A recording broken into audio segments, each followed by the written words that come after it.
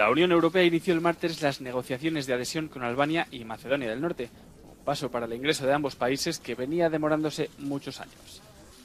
La presidenta de la Comisión Europea, Ursula von der Leyen, felicitó calurosamente a los primeros ministros Edi Rama de Albania y Dimitar Kovacevski de Macedonia. Ustedes y su pueblo han trabajado muy duro para llegar hasta aquí y han demostrado un compromiso duradero con nuestros valores. Han demostrado resistencia, han mantenido la fe en el proceso de adhesión,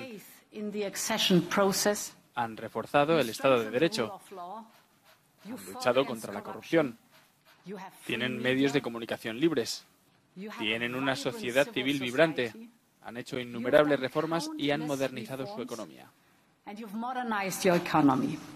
Sin embargo, no es oro todo lo que reluce, y las exigencias de Bulgaria para la entrada de Macedonia del Norte siguen generando descontento entre muchos ciudadanos macedonios.